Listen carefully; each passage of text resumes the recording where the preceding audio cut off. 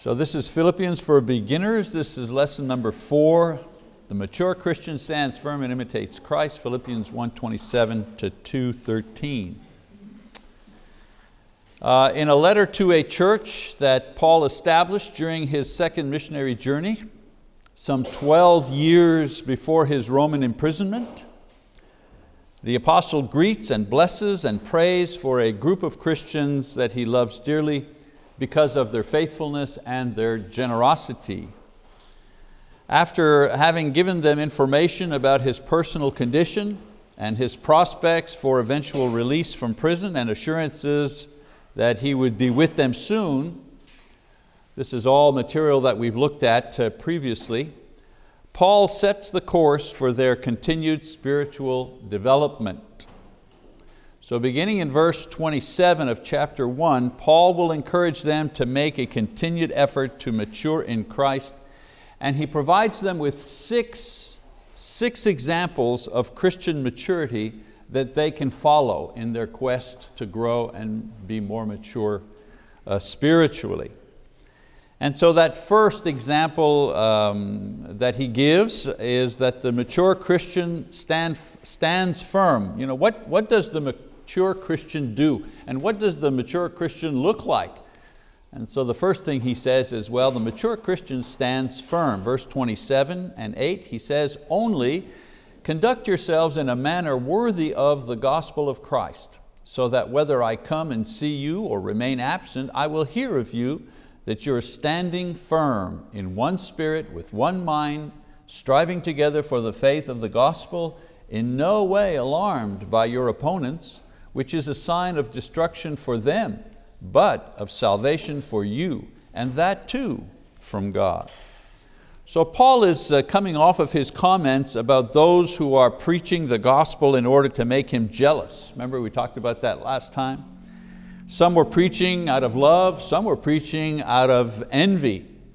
Uh, they thought they would make him jealous. If they were preaching successfully, somehow Paul would be jealous of that because he was confined to prison and couldn't be out doing what he normally did. We looked at Paul's response to, um, to these in a, a previous verse where he states that no matter the motivation, if the gospel is preached, he says, it'll have its effect. And in this he rejoiced. You know, whether you preach the gospel with good motives or bad motives, as long as the gospel is being preached, he's happy. And the gospel it'll bring back fruit. So he uses this sinful attitude by some as a bridge to make a first exhortation to the church concerning their conduct. Now some are acting this way in regard to the gospel, he says. You know, some are having a bad attitude if you want, but you, he says, you conduct yourselves in a different manner. Okay? He says, your conduct which should be worthy of the gospel and in line or reflective of the gospel and its message and its subject, Jesus Himself, your conduct as opposed to their conduct, which is proclaiming the message but not doing it in the correct spirit. Your conduct should be such that whether Paul is released or not, their conduct will be the same. He thinks he'll be released and eventually be with them in person, but he's saying to them, even if he is not, he wants them to act in a mature way, okay? and not like these other guys. So this first example of spiritual maturity he describes is the ability to stand firm in the faith, in the faith of, uh, excuse me, in the face of opposition. And he says it's possible. You can stand firm in opposition because they all share the same spirit. They all uh, share the same spirit, which is their spirit animated by the Holy Spirit, which each one of them have received when they were baptized, Acts 2.38. They can all stand firm because they're united in one mind. You know, we all believe the same thing as being the truth from God, which is the gospel. And so your ability to stand firm against opposition he says, is based on the fact that you all share the same spirit, you all share the same truth, you all share the same mind about what God has taught. And thirdly, you're all working toward the same goal, and that is to maintain the teaching or the content of the gospel, Sometimes they, you know, they, they have an interchange. They call it the faith or the gospel. When there's an article in front of the word faith, the faith, it doesn't mean trust, it means doctrine, the faith, the body of teaching uh, of Jesus. That's the faith, okay? Uh, and so to maintain the teaching and content of the gospel against change or compromise. So they're standing firm together in one spirit, one mind and one purpose. They don't want the gospel uh, to change. So to do these things without fear, he says, is a sign of their growing maturity in Christ. They don't get excited, they don't lose their confidence just because there's some opposition, just because there are trials and, and, and tribulations. Okay. Shows their growing maturity in Christ and a reason that Paul uh, rejoices when he thinks and prays for them. When he sees them going through problems like this, and finds out that they're standing firm, they're not giving in, they're not quitting, for example, this gives him great joy. Um, in addition to this, he says, standing fear without, firm, uh, without fear of their opponents indicates two things. First of all, the destruction of their opponents. If their attackers cannot frighten them to change course or abandon their faith, it's an indication that they have lost the battle their attackers have lost the battle, even though on the surface they may seem like a formidable enemy. And secondly, it's the confirmation of their salvation. If what they believe is true provides them with the strength to stand firm against their enemies, in other words, people and actions that they can see, then what they believe about their salvation, something they cannot see but must accept by faith, must also be true as well, since God will administer both the judgment on their enemies and their entry into heaven. So they're standing firm. They're not letting the enemies destroy them or discourage them or get them to quit. And Paul is saying, you know, when you're not quitting, when you're standing firm, it means what's inside of you is stronger than what's inside of them. They may seem bigger and more powerful, they may seem to have the upper hand, but the fact that they're not able to destroy you demonstrates that eventually they're going to lose. And it also shows that eventually you're going to win. That your faith is true and it'll be realized. And the promises that God has made to you, uh, and the ultimate promise of course is to be in heaven with Him, that's true and that will come to pass A couple of verses, verse 29 and 30, he says, For to you it has been granted for Christ's sake, not only to believe in Him, but also to suffer for His sake, experiencing the same conflict which you saw in me and now hear to be in me. So Paul adds this observation as a way to both encourage them to remain standing firm against those who are attacking them and also put into a larger spiritual context the suffering that they are experiencing as disciples of, of Jesus. The apostle explains that suffering is not in opposition to belief. Very, very important to understand. You know, as if to suffer for Christ were a failing on God's provident, providential care for His children or some kind of aberration in the Christian experience. You know, some people think I become a Christian, I've obeyed the gospel, I'm doing what God wants, and then all of a sudden the roof falls in on me. You know, I get sick, I lose my job, I'm, I'm attacked, I'm accused of something I didn't do, and so on and so forth. What happened? They think uh, becoming a Christian means, well, no more suffering, you're good to go. And so Paul is addressing this idea that suffering as a Christian somehow is wrong or unusual or shouldn't happen. And so he says suffering, uh, excuse me, the apostle explains that suffering is not in opposition to belief.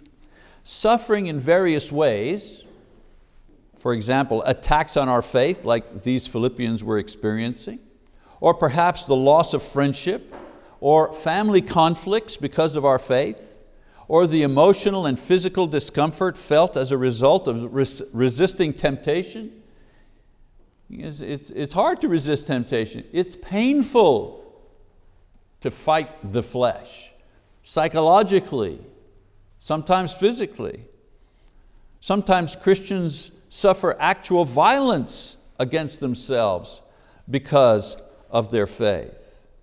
So these were natural parts of the Christian experience and life. They're not exceptions to the rule, they're the rule.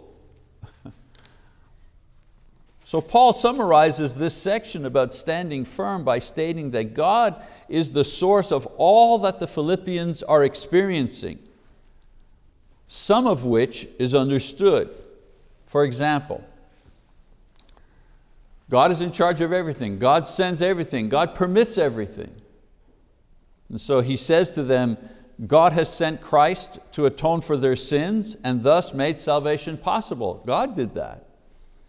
God has provided the faith or the teaching of salvation in the gospel. God is the one that provided that, not man. God has chosen and sent the apostles, like Paul, to bring the gospel. God is the one that sent the apostles. God has sent the Holy Spirit to dwell within them and lead them to spiritual maturity, evidenced by their firm stand against opposition and the attacks on their faith. God has done that. And finally, and this is the point he's making here, God has permitted them the privilege of experiencing suffering on account of their faith. It's not that God sends the evil, but God permits it in our lives. God doesn't send evil. God doesn't tempt us to sin, ever. But He permits us to suffer. He, he, he could, he could uh, make it so that there's never any suffering in our life. He's God. But He chooses not to do that.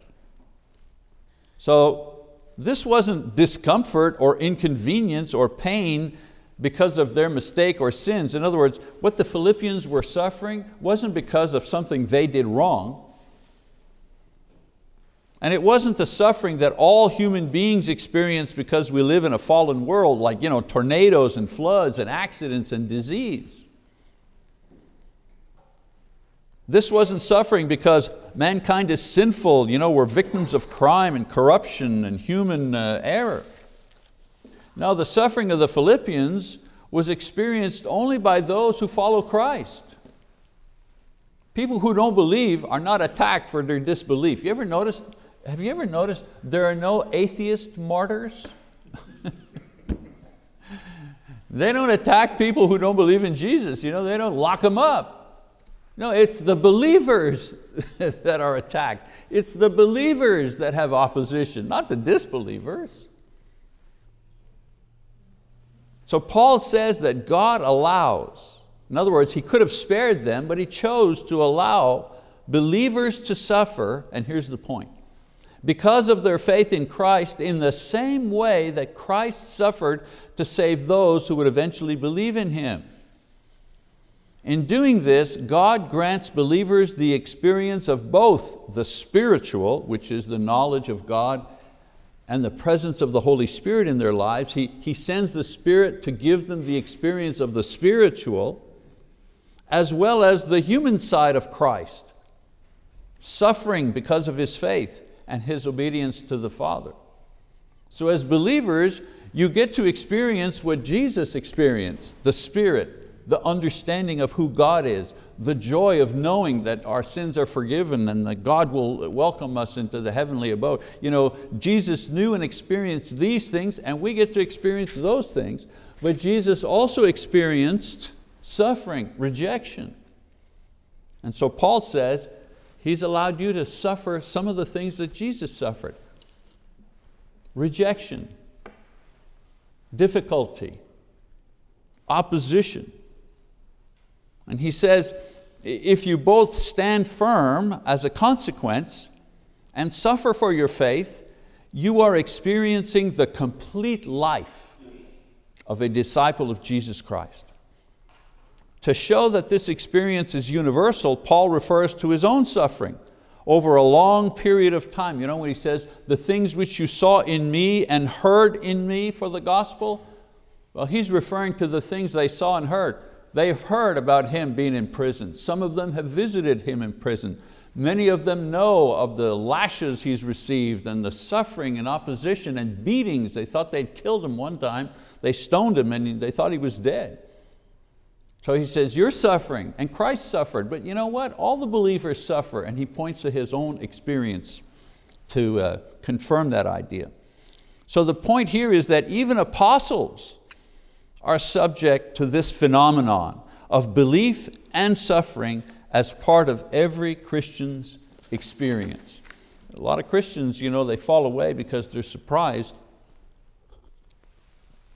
They're surprised that they have to suffer. They're surprised that they have doubts. They're surprised that the world sometimes puts them in a position to compromise their faith. They're surprised at that. They think that shouldn't be, but no, that, that, it, that's exactly the life of a Christian. Another indicator of maturity that Paul, as we move into chapter two, he says the mature Christian imitates Christ. So Paul leaves off his encouragement you know, to stand firm in the face of attack and adversity and suggests the kind of things necessary to help remain strong in the faith while enduring opposition. So we read chapter two, verses one to four, he says, therefore, if there any encouragement in Christ, if there is any consolation of love, if there is any fellowship of the Spirit, if any affection and compassion, make my joy complete by being of the same mind, maintaining the same love, united in spirit, intent on one purpose. Do nothing from selfish or empty conceit, but with humility of mind regard one another as more important than yourselves. Do not merely look out for your own personal interests, but also for the interests of others. So those on the outside of the church are attacking and putting obstacles in the way of believers. But those on the inside of the church must also be involved in countering these attacks by providing things to help fellow believers be still and unmoved. So Paul goes from what he believes that are, uh, he starts from what he believes they're already doing, okay? So what they're already doing, they're giving each other encouragement in Christ. Mutual edification as Christians when they sing together and pray together. Uh, the comfort of love, their love for one another. They provide comfort and consolation to each, uh, uh, each one in the assembly. Uh, the word here is, um, the Greek word is that for encouragement. They encourage each other. Uh, fellowship of the Spirit. Uh, the, the, the strength that comes from consciously sharing the Holy Spirit. The, the type of relationship that only two spirit-filled people uh, can have. As I've said before, you can, you can have you can have fellowship, you can have a friendship with someone, you can be best friends with somebody, you can have you know, your best buddy and you go play golf or something, but if he's not a Christian, then you can't have fellowship. You can have friendship and all the good things that friendship brings, but you can't have fellowship. You can only have fellowship with someone who's a, a believer, okay? And so Paul says, share that. That fellowship of the Spirit is a very strong thing. It helps you to be strong. It, it, it makes you realize you're not in this by yourself. And then of course, affection and compassion. This is the actual expressed love in human interaction seen as physical affection and service and the knowledge that other Christians know and understand and share our burden. Uh, um, we have uh, every uh, service, uh, when we gather here, we have the prayer cards, the blue cards, where one of the elders will read about the needs of a particular family or individual and offer a prayer on their behalf. I, am convinced uh, that uh, that action doesn't stop there with just the prayer. I'm sure that after that prayer is made and people find out about the needs of that individual, phone calls are made, visits are made, food is prepared, to go uh, and take care of an individual who's ill or someone who's taking care of, of another individual. This is the kind of affection and compassion that lifts our spirits and enables us to be strong in Christ and resist the opposition, resist uh, many times the discouragement that tells us, oh, you ought to quit, you ought to stop believing, stop going to church.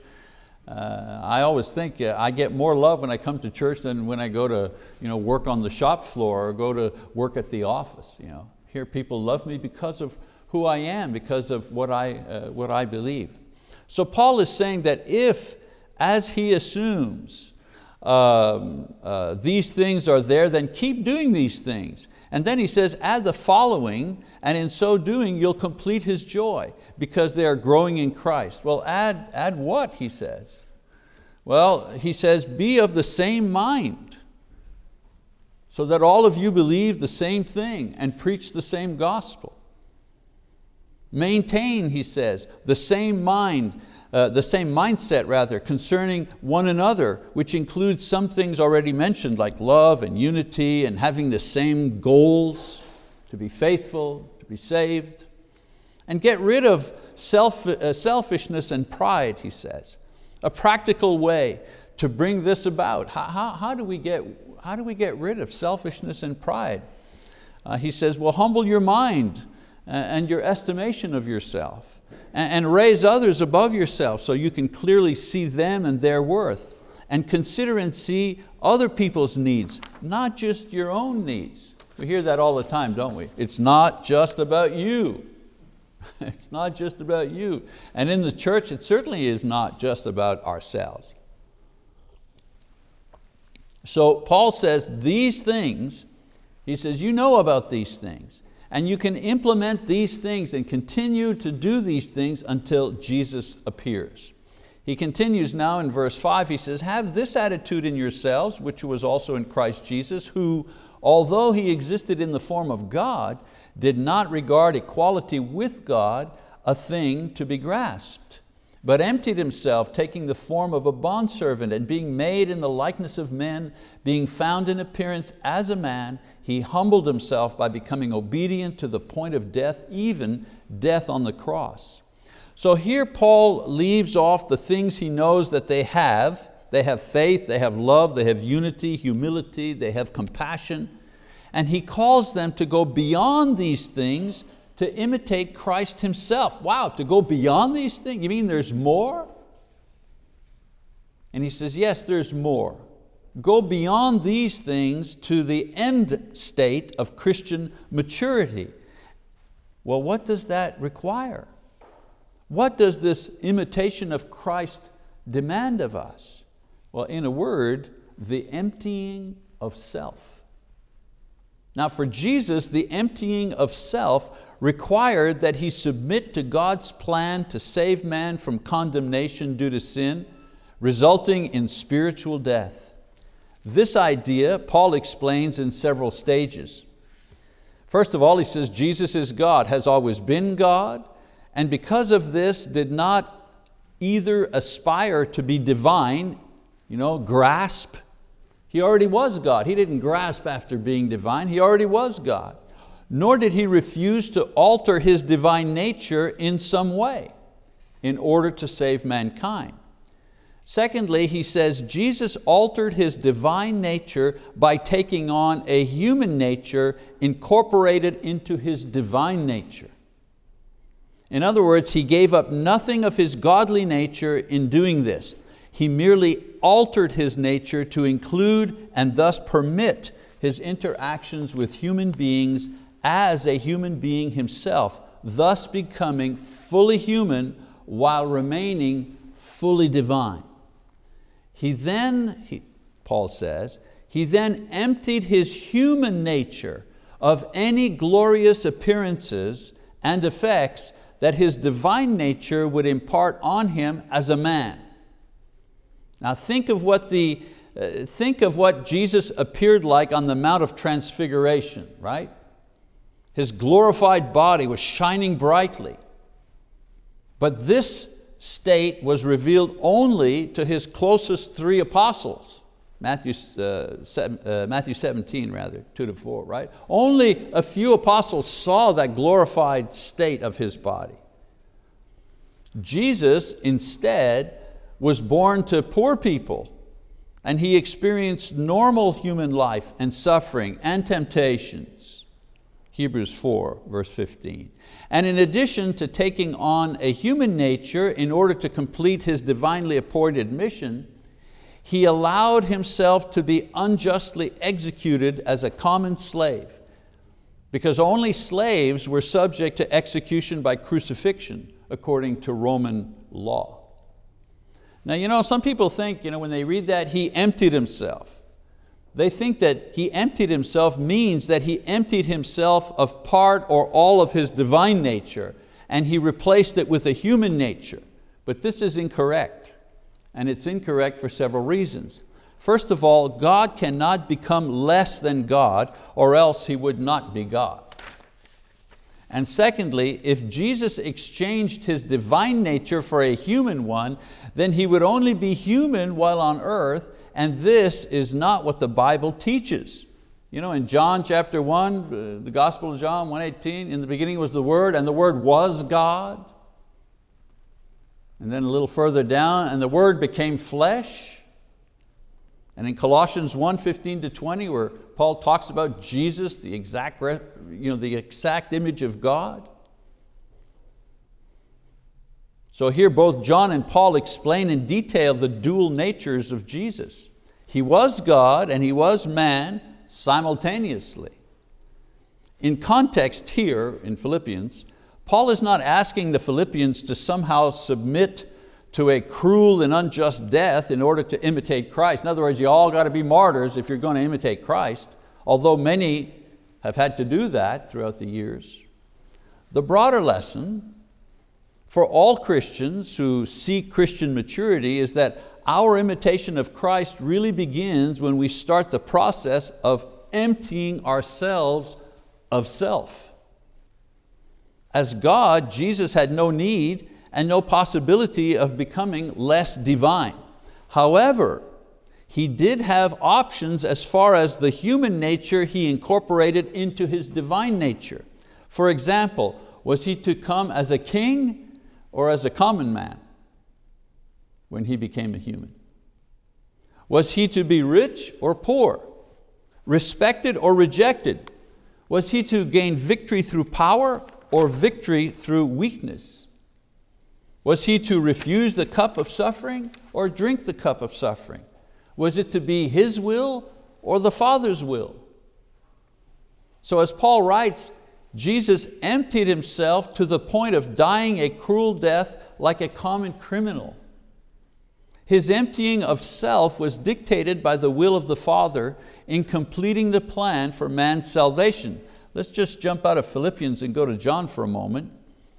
John 6:38, he says, for Jesus says, "For I have come down from heaven not to do my own will, but the will of Him who sent me." In the same way, the emptying of self in our lives, resulting in Christian maturity as we imitate Christ, requires us to constantly seek and obey God's will instead of our own will for our lives. So if someone's saying, well, how do I empty myself of self? You obey God's will. Jesus emptied His human self of self. How? By obeying God's will. To be born poor, to, be, you know, to suffer, to, to die on the cross. Now this does not necessarily mean we will, we will be poor or unjustly accused or executed for our faith. It might, but not necessarily so. It does mean, however, that we will suffer the emotional as well as physical pain that comes as a result of denying our own will and desires and flesh in order to do the will and purpose of Christ in our lives. Paul does not give specific examples of this emptying of ourselves, but he provides the glorious result of this as it took place in the life of Jesus. Verse 9 to 11, he says, for this reason also, God highly exalted him. For what reason? Well, that he emptied himself. That's the reason. So for this reason also, God highly exalted him and bestowed on him the name which is above every name, so that at the name of Jesus every knee will bow of those who are in heaven and on earth and under the earth, and that every tongue will confess that Jesus Christ is Lord to the glory of the Father. So Jesus emptied His human nature, He emptied His human nature of any glory that it might have exhibited because it was embedded in His divine nature.